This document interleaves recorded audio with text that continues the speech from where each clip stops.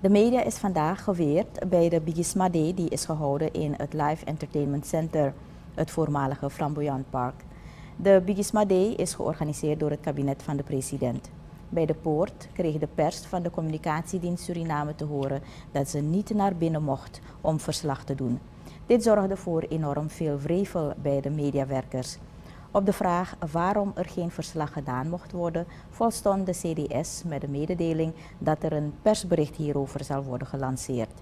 In het persbericht dat uiteindelijk verscheen staat aangegeven dat vanwege de nieuwe COVID-19 maatregelen de Bigisma Day is heringericht.